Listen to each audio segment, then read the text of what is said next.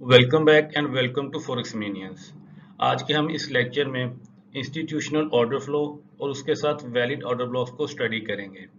क्योंकि forex market में mostly traders अपनी एंट्री ऑर्डर ब्लॉक्स को देखते हुए डिज़ाइन करते हैं। और जैसा कि हम अभी एंट्री टेक्निक्स सीरीज़ को स्टडी कर रहे हैं तो उसमें सबसे इम्पोर्टेंट लेक्चर और हाली डिमांडेड लेक्चर ये ऑर्डर ब्लॉक्स का है। क्योंकि जब भी कोई ट्रेडर फॉरेक्स मार्केट में एंट्री लेता है तो सम टाइम वो जिस ऑर्डर ब्लॉक को यूज़ करता है, वो ऑर्डर ब्लॉक फेल हो जाता है। या उन्हें इस चीज़ को अवेलुएट नहीं करना आता कि कौन सा ऑर्डर ब्लॉक वैलिड है या नहीं। तो आज के इस लेक्चर में हम इस चीज़ को काफ़ी डिटेल में स्टडी करेंगे, जिसमें हम ये देखेंगे कि ऑर्डर ब्लॉक्स क्या होते हैं और हमें कैसे पता चलेगा कि ये ऑर्डर ब्लॉक वैलिड है या नहीं और कौन से ऑर्डर ब्लॉक स्मार्ट मनी के ट्रैप्स होते हैं।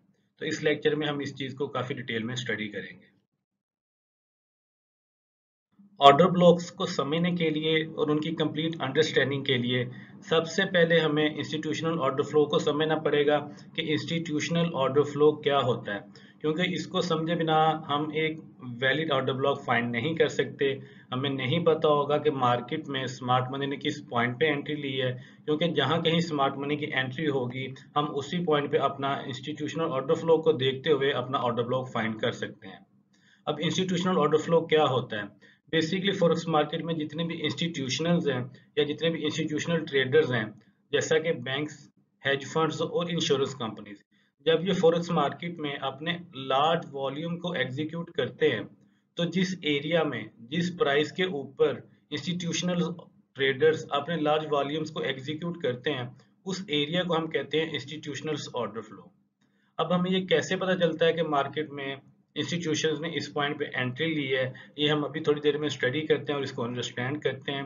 तो बेसिकली इंस्टीट्यूशनल ऑर्डर फ्लो इसको ही देखते हुए हम अपना ऑर्डर ब्लॉक फाइंड करेंगे और इंस्टीट्यूशनल ऑर्डर फ्लो से हमें मार्केट का ट्रेंड भी पता चलता है कि फॉरेक्स मार्केट का इंस्टीट्यूशनल ट्रेंड किस साइड पे है। क्योंकि इंस्टीट्यूशंस के बगैर फॉरेक्स मार्केट नहीं चलती, इसलिए हम इसी इंस्टीट्यूशनल ऑर्डर फ्लो को देखते हुए अपना मार्केट ट्रेंड भी फाइंड कर सकते हैं। अब इस चीज़ को समझने के लिए ये एक बेरिश फ्लो डायग्राम है। अब बेरिश फ्लो का क्या मतलब है? इसका मतलब है कि इसमें स्मार्ट मनी ने अपने लार्ज वॉल्यूम्स अगर सेल साइड पे एग्जीक्यूट करने थे तो इन्होंने यहाँ एक बेरिश ऑर्डर फ्लो डिज़ाइन किया। अब इन कैंडिडेट्स में बेरिश ऑर्डर फ्लो कौन सा है, उस चीज़ को हम अभी आगे जाके स्टडी करेंगे।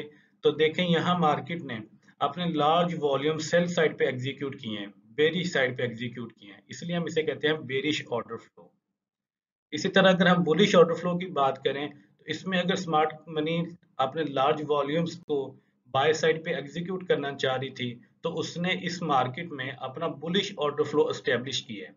अब वो बुलिश ऑर्डर फ्लो इन कैंडल्स में से कौन सी कैंडल्स हैं, उस चीज़ को हम आगे जाके अंडरस्टैंड करते हैं। अब सबसे पहले हम बात करते हैं बुलिश इंस्टीट्यूशनल ऑर्डर फ्लो की, कि बुलिश इंस्टीट्यूशनल ऑर्डर फ्लो क्या होता है। अब इस चीज़ को समझने से पहले मैं एक बात ऐड करना चाहूँगा कि अगर फॉरेक्स मार्केट में हम एंट्री लेना चाहते हैं तो सिर्फ़ और सिर्फ़ हम सिर्फ़ तभी एंट्री ले सकते हैं अगर फॉरेक्स मार्केट में लिक्विडिटी अवेलेबल है। अब लिक्विडिटी अवेलेबल होने का क्या मतलब है? यानी अगर फॉरेक्स मार्केट में मैं कोई चीज़ बाय करना चाहता हूँ तो सिर्फ़ और सिर्फ़ तभी बाय कर सकता हूँ अगर वहाँ सेलर्स अवेलेबल हैं। इसी तरह अगर फॉरेक्स मार्केट में मैं कोई अपना सेल ऑर्डर एग्जीक्यूट करना चाहता हूँ तो सिर्फ़ तभी सेल कर सकूँगा अगर वहाँ बायर अवेलेबल है। यानी वहाँ कोई लिक्विडिटी प्रोवाइडर है। तो होता क्या है कि जब बिग इंस्टीट्यूशंस बुलिश ट्रेंड में कोई चीज़ बाय करना चाहते हैं तो उनको बाय करने के लिए वहाँ कोई भी उनको अपना ऑर्डर सेल आउट नहीं करना चाहता। क्यों? क्योंकि वहाँ ट्रेंड टोटल बुलिश होता है और बुलिश ट्रेंड में जाहरी बात है कोई बंदा भी सेल नहीं करना चाहेगा। तो ऐसे पॉइंट पे स्मार्ट मनी या बिग इंस्टीट्यूशंस क्या करते हैं? वो रिटेल ट्रेडर्स को मैनिपुलेट करते हैं। वो उनको मैनिपुलेट करते हैं सेल साइड पे, जिसकी वजह से रिटेल ट्रेडर्स अपने ऑर्डर सेल आउट करना शुरू कर देते हैं और स्मार्ट मनी उन ऑर्डर्स को बाय करके अपने लार्ज वॉल्यूम्स को एग्जीक्यूट करना शुरू कर देती है।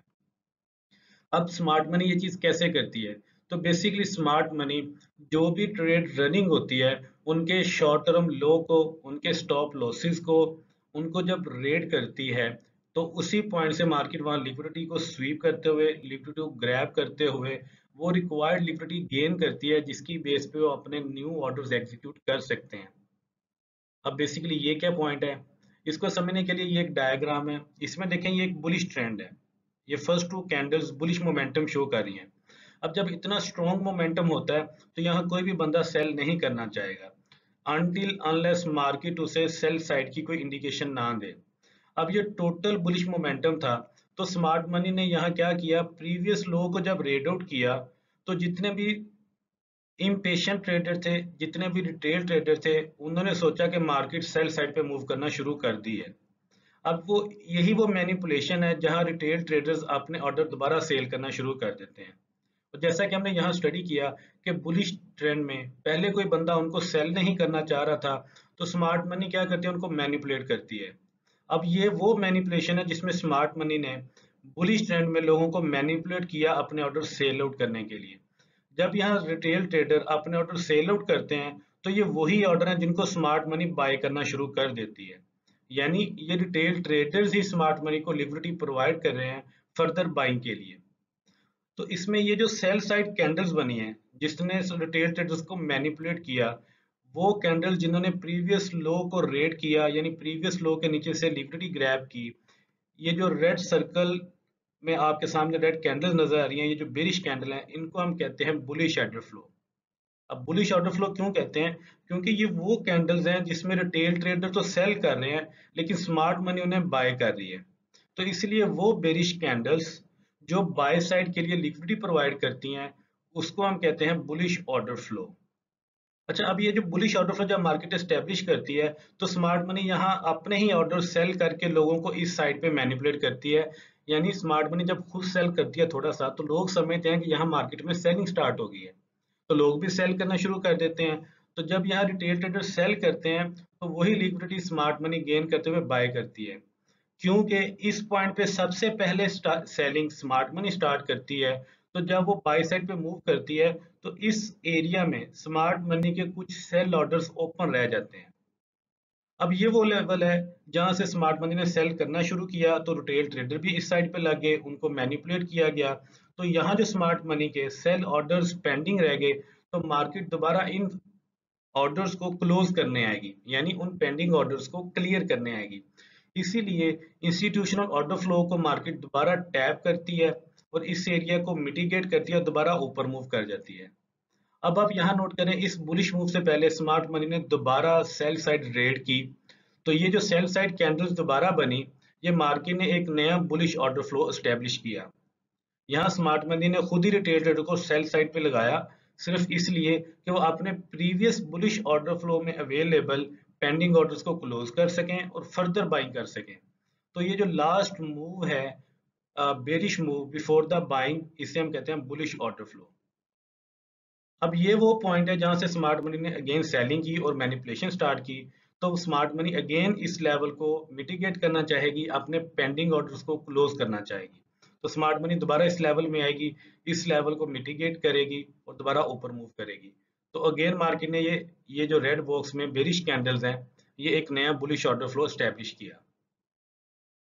इसी तरह अगर आप एक चीज़ नोट करें इस पॉइंट पे, यहाँ एक और चीज़ भी मार्केट कर रही है फर्दर मैनिपुलेशन के लिए। और वो बेसिकली चीज़ क्या है? इंजीनियर लिक्विडिटी एक तो यहाँ बुलिश ऑर्डर फ्लो है और यहाँ इंजीनियर लिक्विडिटी भी अवेलेबल है। तो ये जो ऐसे एरियाज़ होते हैं जहाँ इंजीनियर लिक्विडिटी भी हो और बुलिश ऑर्डर फ्लो भी हो तो वहाँ हम काफ़ी स्ट्रॉन्ग एंट्री ले सकते हैं। यानी वो हमें काफ़ी स्ट्रॉन्ग इंडिकेशन देती है फॉर द फर्दर वहाँ से हम ट्रेंड को दोबारा कैच कर सकते हैं। अब यहाँ इंजीनियर लिक्विडिटी भी है और बुलिश ऑर्डर फ्लो भी अभी तक अनमिटिगेटेड है, यानी मार्केट ने अपने यहाँ के ऑर्डर क्लोज नहीं किए। तो इससे हमें क्लियर इंडिकेशन मिलती है कि मार्केट इनको क्लोज करने नीचे जाएगी, वहाँ से इंजीनियर लिक्विडिटी को भी ग्रैप करेगी, अपने पेंडिंग ऑर्डर्स को क्लोज करेगी और दोबारा बुलिश साइड पे मूव कर जाएगी।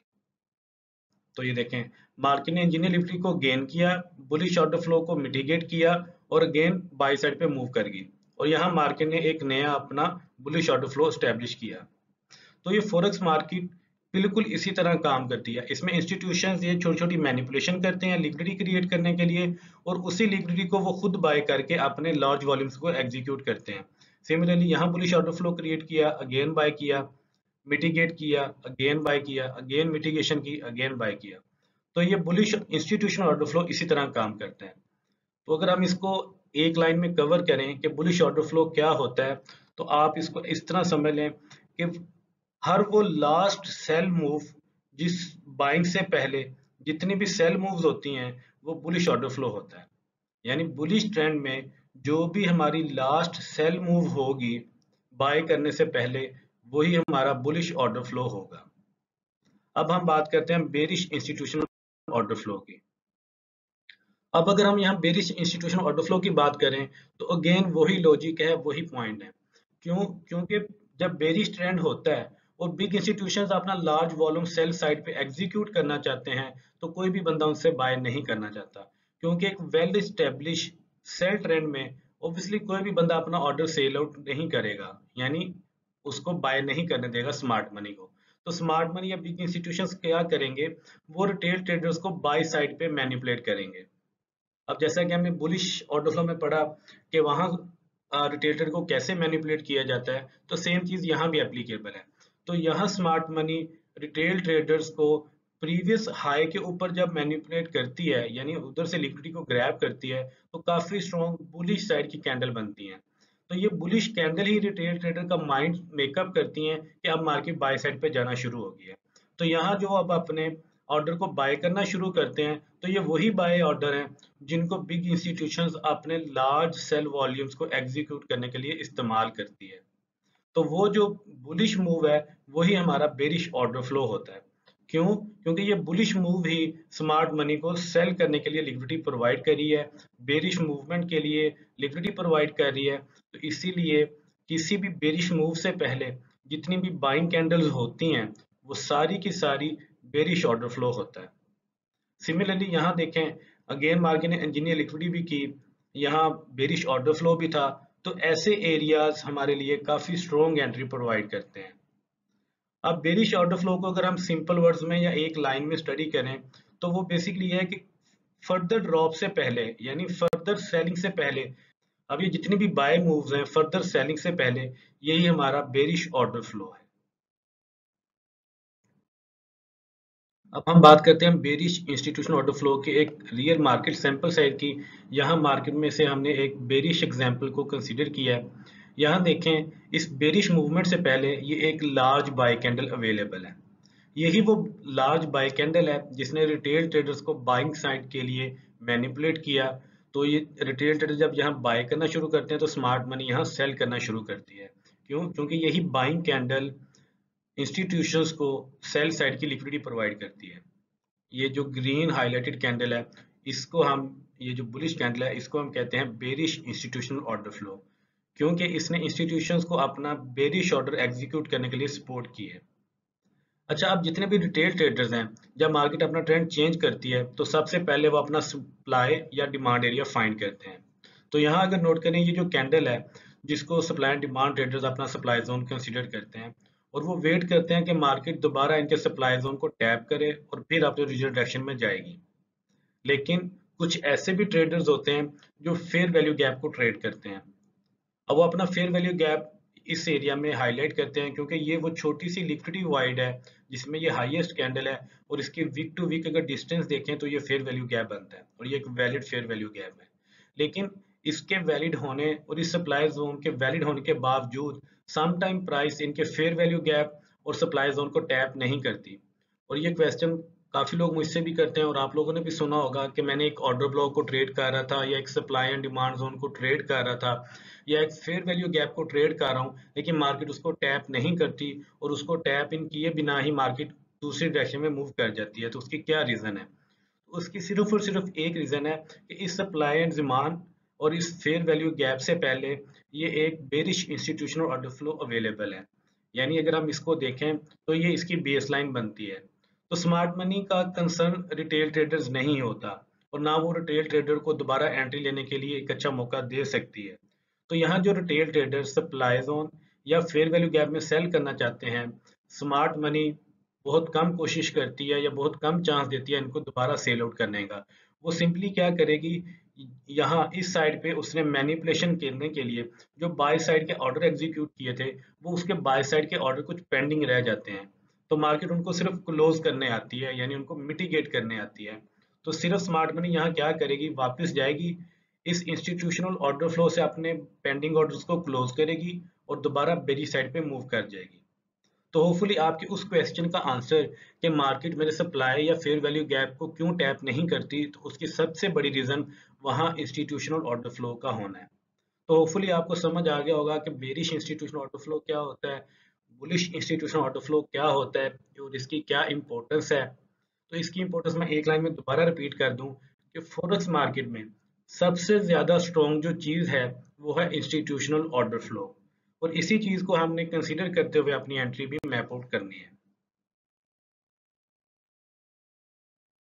अब हम बात करते हैं कि ऑर्डर ब्लॉक क्या होता है। ये वो सवाल है या वो क्वेश्चन है जो मुझसे हज़ारों लोग पूछते हैं कि एक ऑर्डर ब्लॉक क्या होता है और हमें कैसे पता चलेगा कि कौन सा ऑर्डर ब्लॉक वैलिड है या मार्केट में इतने ज़्यादा ऑर्डर ब्लॉक अवेलेबल है? कौन सा ऑर्डर ब्लॉक है जो स्मार्ट मनी का है? यानी कौन सा ऑर्डर ब्लॉक है जो हाई प्रोबेबिलिटी है? तो सबसे पहले तो हमें ये पता होना चाहिए कि ऑर्डर ब्लॉक क्या होता है। तो basically order block institutional order flow की एक रिफाइंड फॉर्म है।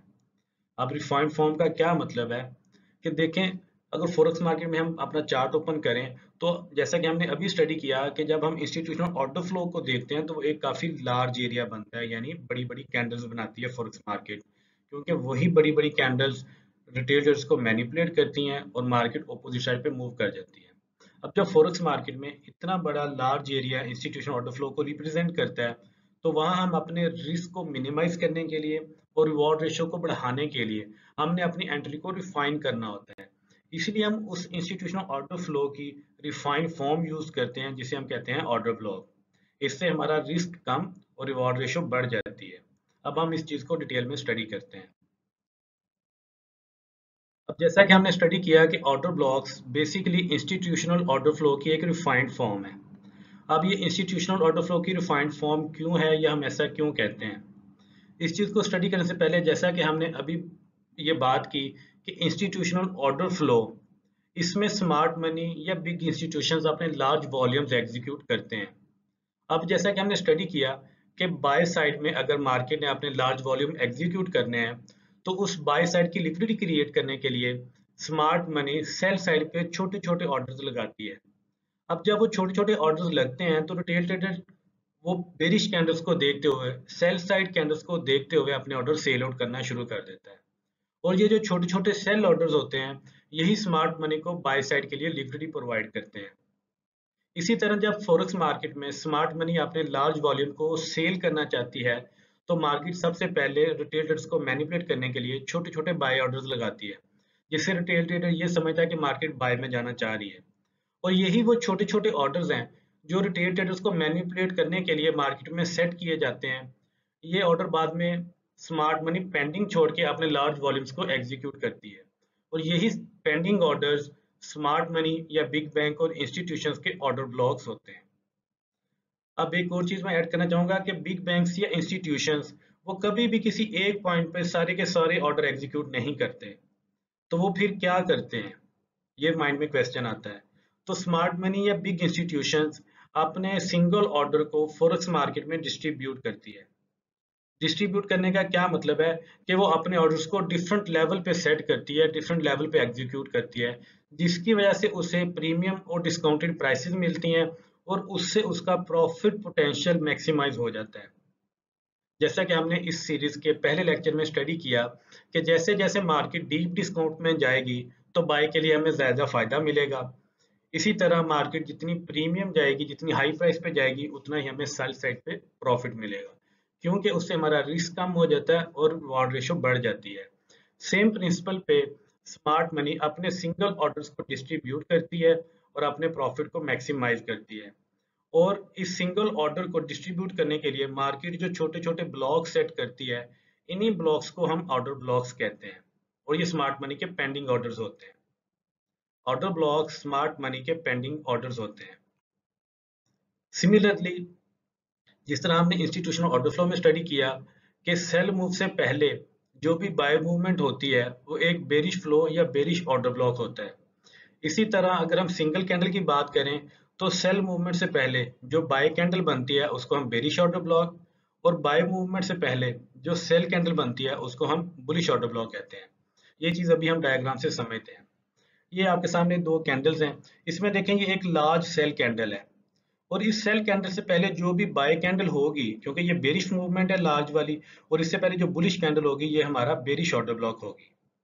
अब देखने में हमें ये लग रहा है कि जैसे ये एक सिंगल ऑर्डर है, जैसा कि हमने यहाँ डिस्कस किया कि देखने में वो सिंगल ऑर्डर है, लेकिन वो सिंगल ऑर्डर नहीं होता, वहाँ स्मार्ट मनी ने डिस्ट्रीब्यूशन की होती है।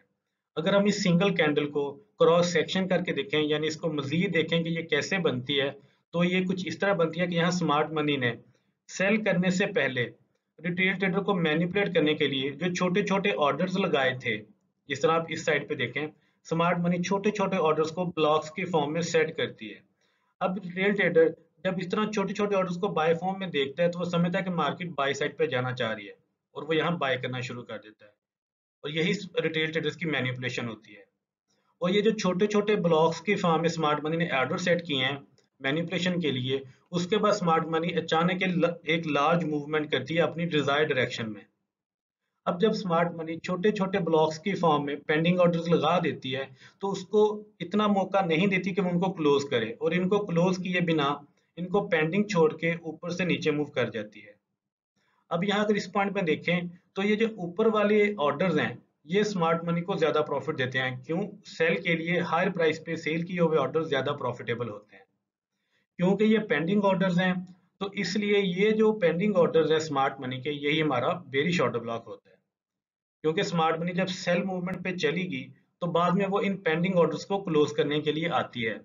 इसीलिए हम ऐसे एरिए को, ऐसे ऑर्डर ब्लॉक को टारगेट करते हैं जो वैलिड हो, क्योंकि स्मार्ट मनी वहाँ अपने पेंडिंग ऑर्डर्स को क्लोज करने आएगी, और उसी पॉइंट पे हमें एक अच्छा चांस मिलेगा, एक अच्छी एंट्री बनेगी।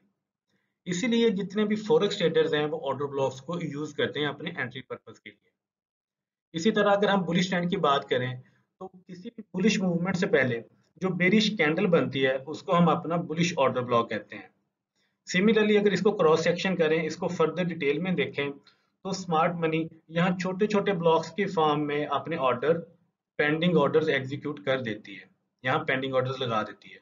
उसके बाद स्मार्ट मनी अचानक एक स्पीड की फॉर्म में, एक एक्सपेंशन की फॉर्म में मूव करती है। तो ये जो पेंडिंग ऑर्डर्स होते हैं, क्योंकि अब स्मार्ट मनी यहाँ काफ़ी स्पीड से मूव करगी तो ये ऑर्डर पेंडिंग रह जाते हैं और स्मार्ट मनी दोबारा इनको क्लोज करने आती है, इनको मिटिगेट करने आती है। और इसी मिटिगेशन के दौरान रिटेल ट्रेडर्स यानी हमारे, हम जैसे स्मार्ट मनी ट्रेडर जो स्मार्ट मनी कंसेप्ट को यूज़ करते हैं, हमें एक अच्छी एंट्री मिल जाती है अपने ऑर्डर एग्जीक्यूट करने की। और हमें आइडिया हो जाता है कि ये वो पेंडिंग ऑर्डर्स हैं जिसको स्मार्ट मनी क्लोज करने आ रही है, वहाँ हम अपना ऑर्डर एग्जीक्यूट करते हैं, जिससे हमारा रिस्क मिनिमम और रिवॉर्ड रेशो बढ़ जाती है। जैसा कि हमने ऑर्डर ब्लॉक के इंट्रोडक्शन को स्टडी किया कि order blocks basically big institutions या स्मार्ट मनी के पेंडिंग ऑर्डर्स होते हैं। और पेंडिंग ऑर्डर्स होने की वजह से स्मार्ट मनी इनको दोबारा मिटिगेट करने आती है। अब हम इस चीज़ को एक लाइन डायग्राम के साथ अंडरस्टैंड करते हैं। तो सबसे पहले हम बात करते हैं बेरिश ऑर्डर ब्लॉक की। बेरिश ऑर्डर ब्लॉक को डिस्कस करने से पहले ये देखें कि मार्केट टोटल बुलिश मोमेंटम में थी। यहाँ मार्केट ने अचानक सेल साइड रिजेक्शन शो की। तो यहाँ जितने भी support and resistance based trader हैं, वो यहाँ सेल करना शुरू कर देंगे। कुछ लोग यहाँ सेल करना शुरू कर देंगे, कुछ यहाँ अपने सेल लिमिट्स लगा के पेंडिंग ऑर्डर्स प्लेस कर देंगे। लेकिन ब्रेकआउट ट्रेडर्स क्या करेगा? वो वेट करेगा कि मार्केट अगर इस पॉइंट के ऊपर ब्रेक करती है तो वो यहाँ से बाय करना शुरू कर देगा। अब ये वही पेंडिंग ऑर्डर्स हैं बाई साइड के और सेल साइड के जो मार्केट में लिक्विडिटी क्रिएट करते हैं। तो जब यहाँ एक खास हद तक लिक्विडिटी क्रिएट होती है, उसके बाद बिग इंस्टीट्यूशंस क्या करते हैं? इस एरिया को रेड करते हैं। यहाँ से ब्रेकआउट ट्रेडर्स की लिक्विडिटी और पेंडिंग ऑर्डर्स को ग्रैब करते हैं और अपोजिट साइड पे मूव कर जाते हैं। अब ये जो एरिया है, ये वाला एरिया ये वो एरिया है जिसने प्रीवियस शॉर्ट टर्म हाई के ऊपर से लिक्विडिटी को ग्रैप किया। और इस लिक्विडिटी को ग्रैब करने के लिए स्मार्ट मनी ने यहाँ कुछ बाय ऑर्डर्स लगाए, जिसे रिटेल ट्रेडर मैनिपुलेट हुआ और उसने यहाँ फर्दर बाइस बाइंग करना शुरू कर दी। लेकिन उसके बाद स्मार्ट मनी ने अचानक एक sharp large movement down side पे शो की और इस प्रीवियस लो को भी ब्रेक कर दिया। अब जब मार्केट लिक्विडिटी ग्रैब करती है और इतनी स्पीड और एक एक्सपेंशन की फॉर्म में मूव करती है और प्रीवियस लो को ब्रेक करती है तो ये वाला जो ब्लॉक है ये वाला जोन ये as a bearish order block act करना शुरू कर देता है। क्योंकि स्मार्ट मनी ने यहाँ कुछ अपने पेंडिंग ऑर्डर्स लगाए हैं रिटेल को मैनिपुलेट करने के लिए तो इन पेंडिंग ऑर्डर्स को मार्केट दोबारा मिटिगेट करने आ सकती है। और जब मार्केट एक्सपेंशन के बाद इस यहाँ लिक्विडिटी वॉइड भी क्रिएट करती है और यहाँ इसने पेंडिंग ऑर्डर्स भी लगाए हैं, इनको मिटिगेट करने आएगी तो हम इस बेरिश ऑर्डर ब्लॉक को यूज़ करते हुए इस पॉइंट पे अपनी एंट्री एग्जीक्यूट कर सकते हैं। इसी तरह स्मार्ट मनी इन पेंडिंग ऑर्डर्स को क्लोज करने आती है और इन ऑर्डर्स को मिटिगेट करती है और दोबारा ओरिजिनल डायरेक्शन में मूव कर जाती है। तो बेसिकली दो कंडीशन है ऑर्डर ब्लॉक के लिए, एक तो मार्केट लिक्विडिटी ग्रैब करे और उसके बाद प्रीवियस जो उसका शॉर्ट टर्म लो था उसको ब्रेक करे। अगर हम एक और सिनेरियो इसका डिस्कस करें तो यहाँ देखें मार्केट बुलिश थी, फिर उसने एक सेल साइड मोमेंटम शो किया। तो यहाँ अगेन एक रेजिस्टेंस क्रिएट की। सेल साइड के ट्रेडर यहाँ सेल करना शुरू कर देंगे और ब्रेकआउट ट्रेडर यहाँ बाय का वेट करेगा पेंडिंग ऑर्डर्स लगा के। तो यहाँ एक लिक्विडिटी क्रिएट होगी। जब यहाँ लिक्विडिटी क्रिएट हो जाएगी तो स्मार्ट मनी सिंपल इस लिक्विडिटी को स्वीप करेगी। स्वीप करने के बाद अचानक ऑपोजिट साइड पे एक लार्ज मूवमेंट शो करेगी, जिसे हम एक्सपेंशन कहते हैं। अब ये जिस एरिया में मार्केट ने लिक्विडिटी को स्वीप किया स्वीप करने के बाद प्रीवियस लो को ब्रेक करते हुए मार्केट ने एक एक्सपेंशन शो की और यहाँ से लिक्विडिटी स्वीप की। उसके बाद ये जो ब्लॉक है, ये एक वेरी शॉर्टर ब्लॉक बन जाएगा। अब ये जो वेरी शॉर्टर ब्लॉक है, यहाँ स्मार्ट मनी के कुछ पेंडिंग ऑर्डर्स हैं। इसी तरह इस एक्सपेंशन में लिक्विडिटी वाइड में भी कुछ पेंडिंग ऑर्डर्स होंगे। तो मार्केट उनको मिटिगेट करने के लिए जब वापस आएगी तो हम इस पॉइंट पे अपने सेल ऑर्डर्स एग्जीक्यूट कर सकते हैं। तो बेसिकली ये लॉजिक है ऑटो ब्लॉक के पीछे, ये इसका फिनोमिना है। इसी फिनोमिना को हम बुलिश ऑटो ब्लॉक के लिए स्टडी करते हैं।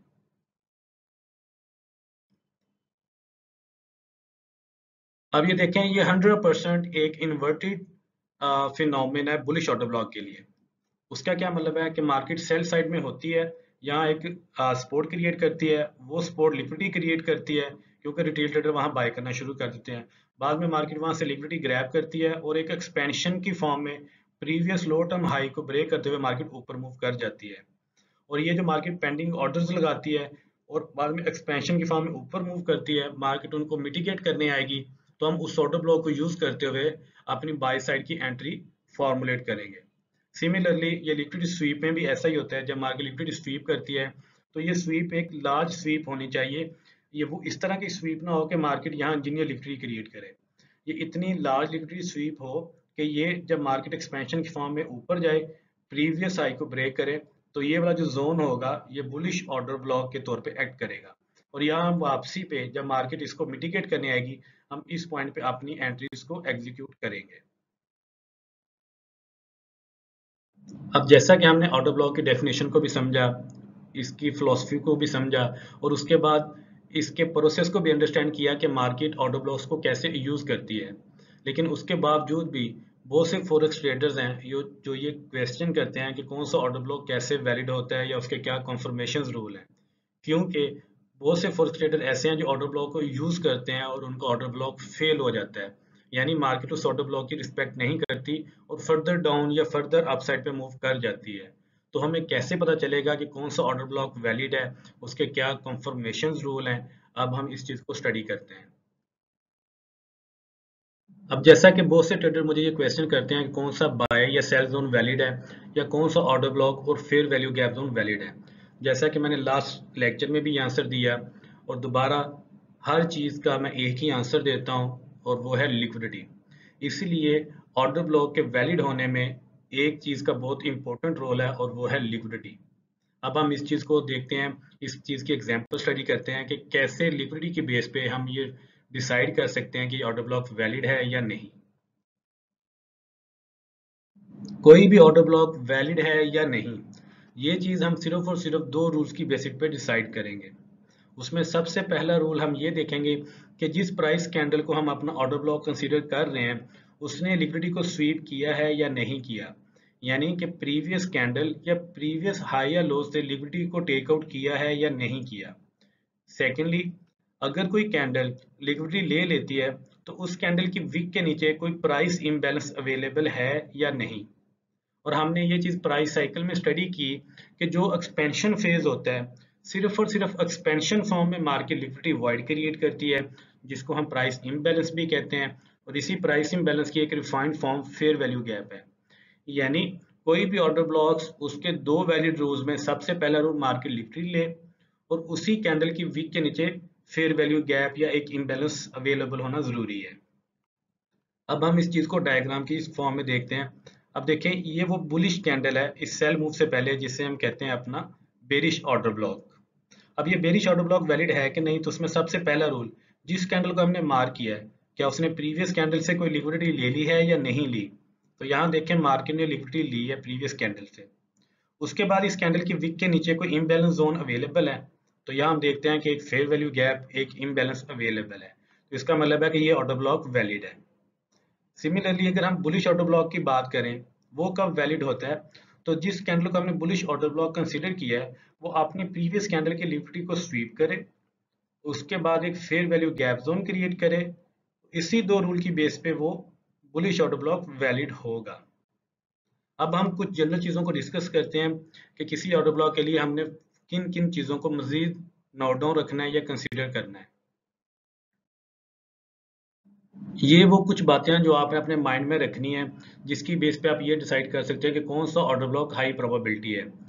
सबसे पहले कोई भी ऑर्डर ब्लॉक जिसमें प्राइस वापस आए तो उस ऑर्डर ब्लॉक के 50 परसेंट लेवल से ऊपर आने वाली कैंडल की बॉडी ऊपर क्लोज ना हो, यानी प्राइस अगर यहाँ वापस आती है तो इसके 50 परसेंट लेवल से ऊपर कैंडल की बॉडी क्लोज ना करे।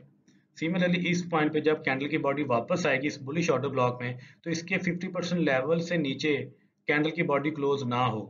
सेकेंडली जितने भी ऑर्डर ब्लॉक्स मंथली ट्रेंड की डायरेक्शन में होंगे, वो हाई प्रोबेबिलिटी होंगे। इसी तरह being a smart money trader bullish trend में इंड्यूसमेंट के नीचे वाला जो ऑर्डर ब्लॉक होगा, वो हाई प्रोबेबिलिटी होगा।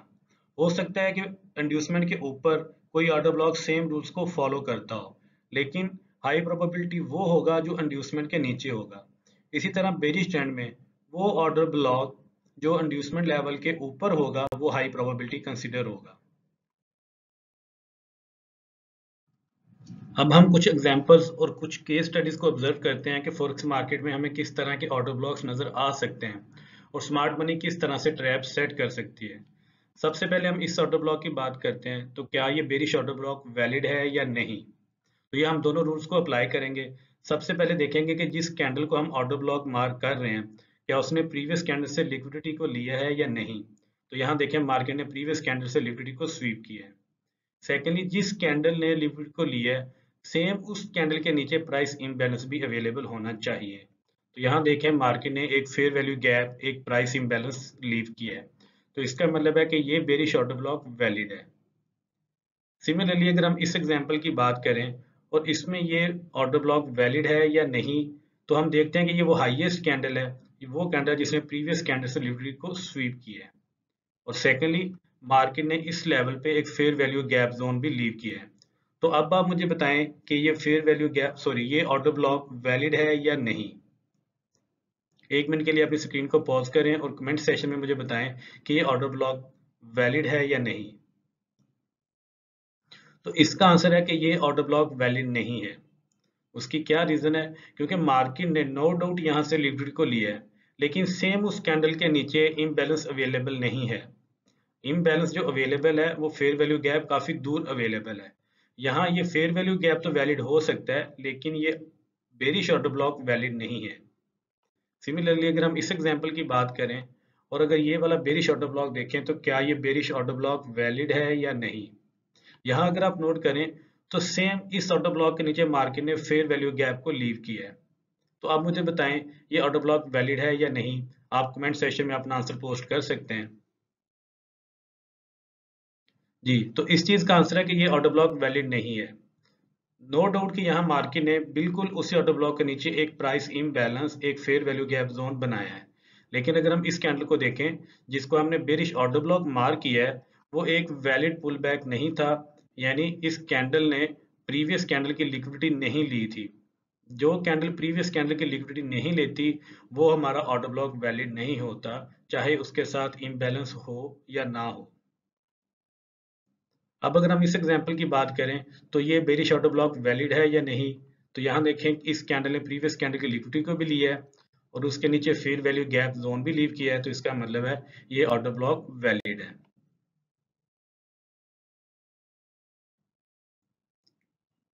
अब आपके सामने ये एक डायग्राम है।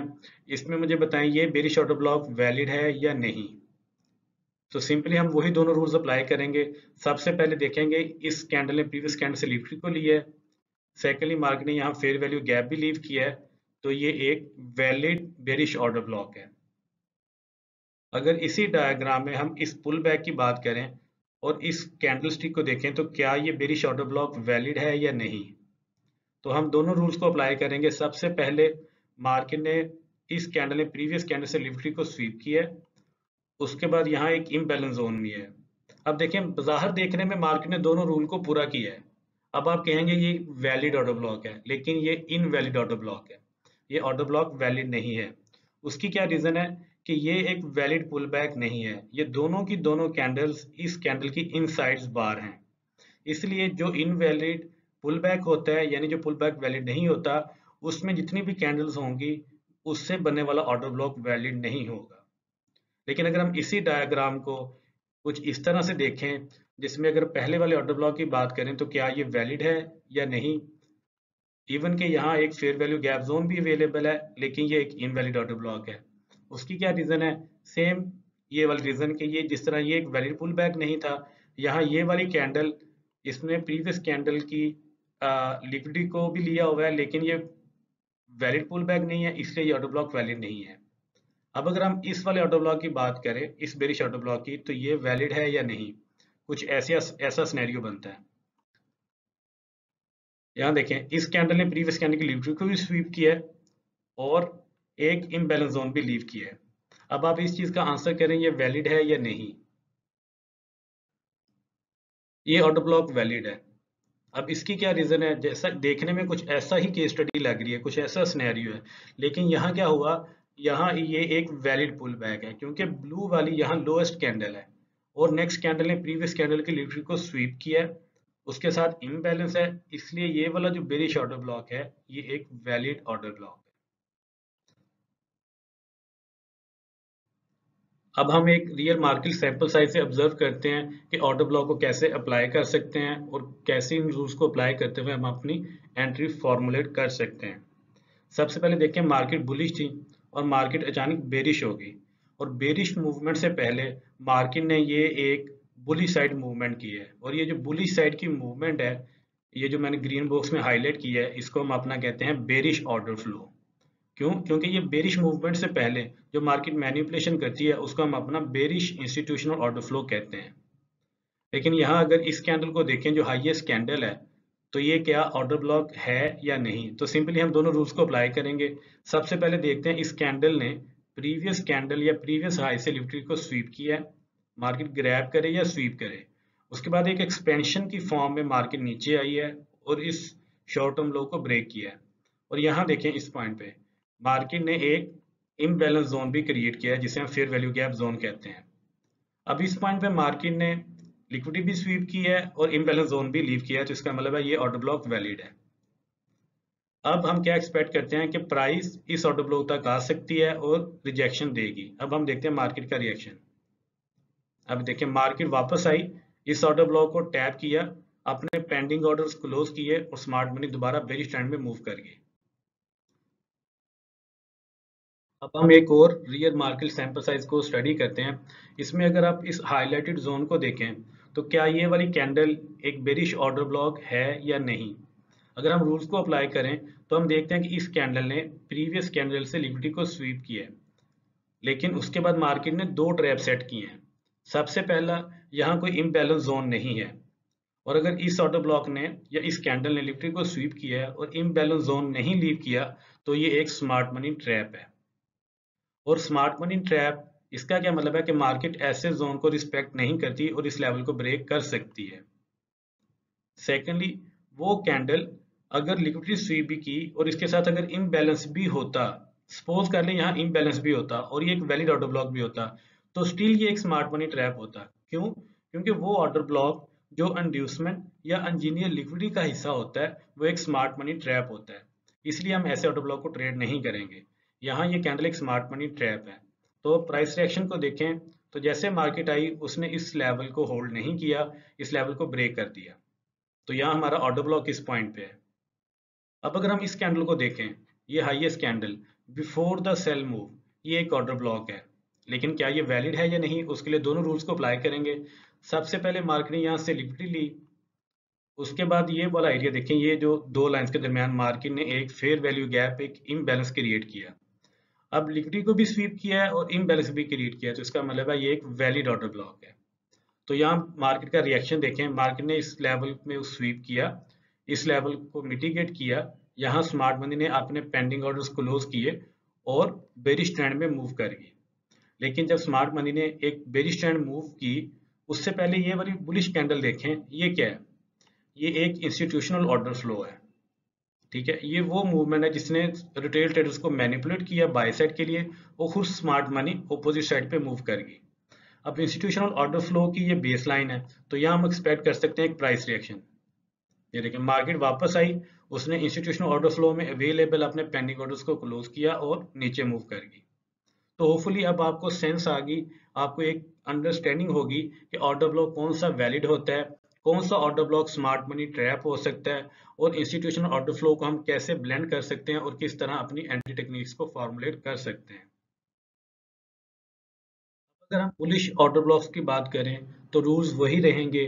सबसे पहला लिक्विडिटी और सेकेंडली प्राइस इम्बेलेंस क्रिएट करें। तो इसमें जो आपको इनवैलिड बुलिश ऑर्डर ब्लॉक नज़र आ रहे हैं, ये वो हैं जिसमें प्राइस ने या तो लिक्विडिटी स्वीप नहीं की, या वो एक वैलिड पुल बैक नहीं है, या फिर उसके साथ कोई इम्बेलेंस अवेलेबल नहीं था। लेकिन जो कैंडल लिक्विडिटी स्वीप करती है और उसके साथ फेयर वैल्यू गैप भी होता है, वो ऑर्डर ब्लॉक सारे के सारे वैलिड ऑर्डर ब्लॉक्स होते हैं। तो मैं उम्मीद करता हूँ कि आपको ये लेक्चर से काफ़ी हेल्प मिली होगी और आपने काफ़ी नई चीज़ें सीखी होंगी। अगर आपका कोई क्वेश्चन है तो आप मेरे साथ इस ईमेल आईडी पर रब्ता कर सकते हैं। नेक्स्ट लेक्चर तक wish you good luck and happy trading